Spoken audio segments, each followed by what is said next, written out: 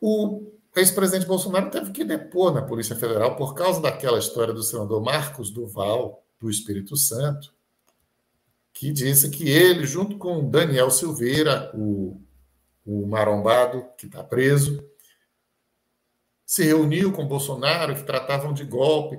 Bolsonaro foi à Polícia Federal, confirmou que teve um encontro com Daniel Silveira e Marcos Duval, que foi só esse também, que não tem intimidade nenhuma com Marcos Duval, que não tratou do nome de Alexandre de Moraes, porque a história do Duval é de que eles tinham combinado de gravar o Alexandre de Moraes, e que não houve essa conversa, nada foi falado sobre o ministro Alexandre de Moraes, segundo o Bolsonaro.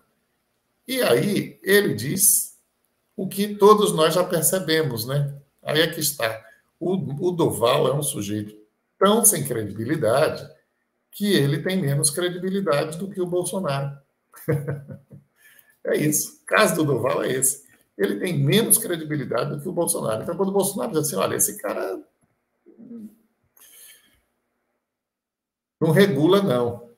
Foi o que o Bolsonaro disse. Doval, lá na conversa, o Bolsonaro disse que o Doval dizia mandou prints de conversa dele com o Alexandre de Moraes, mensagens que ele passou para o Alexandre de Moraes.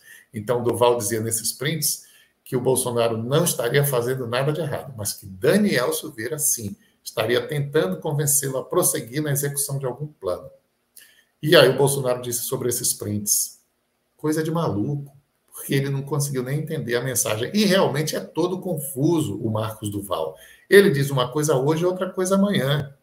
Foram outros prints revelados de conversas com amigas, e ele dizendo que ele tinha bombas contra Lula e contra Bolsonaro também. Então, o cara realmente é um sujeito que não é completamente indigno de crédito.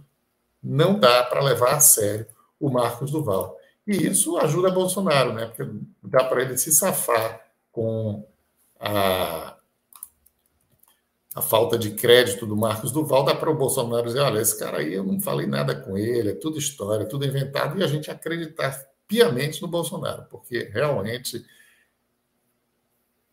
o Marcos Duval caiu no descrédito total. Esse não dá para se levar a sério. Fala muita bobagem, é uma coisa que impressiona.